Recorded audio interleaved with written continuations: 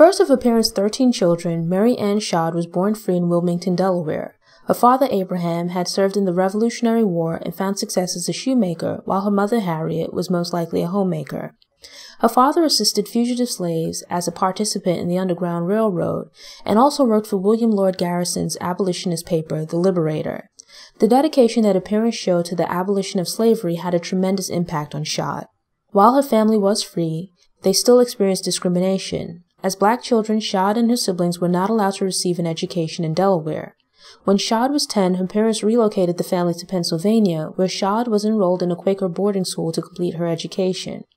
After leaving school, Shadd spent several years working as a teacher. Writing to Frederick Douglass's North Star newspaper, Shadd took the established abolitionist movement to task for what she perceived as its heavy reliance on rhetoric and lack of action. The letter became Shadd's first published work and brought her some notoriety. It ruffled some feathers among the old guard, but carved out space for her as a new voice in the abolitionist movement. Passage of the Fugitive Slave Law of 1850 made it possible for runaway slaves to be captured and returned to slave owners, even if they escaped to free states.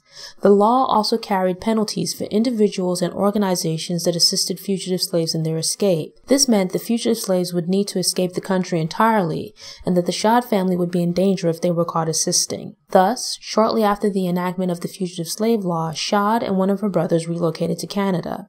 The rest of the Shadd family followed shortly thereafter, and they settled in Ontario.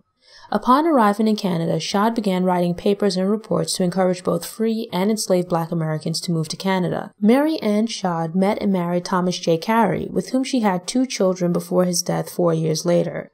Shadd Cary founded a school that was open to children of all races. She also launched a newspaper, the Provincial Freeman, which made her the first black woman publisher in North America and the first woman publisher in Canada. Within the paper, she spoke out against fighting for the abolition of slavery while stopping short of full equality for black people and integration. She also criticized the trend of supporting fugitive slaves while ignoring the economic needs of free, poor black people.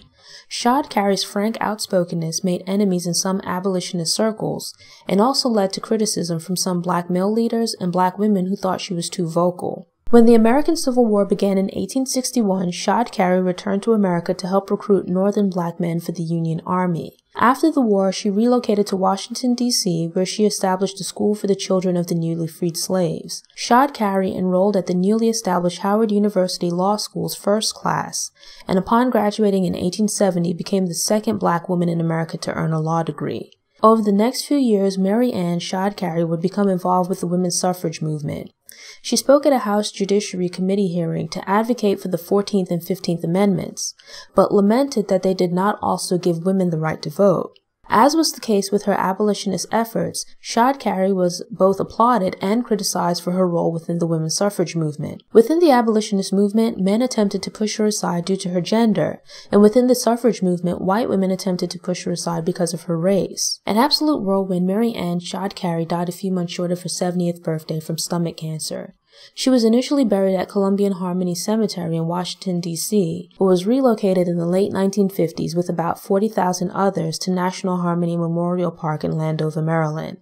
The modest brick row house where she lived in Washington, D.C. at the end of her life is now listed as a National Historic Landmark. If you enjoyed this episode and would like more, please click the thumbs up button and subscribe to the channel. For show notes and sources, visit noirehistoir.com via the link in the episode description.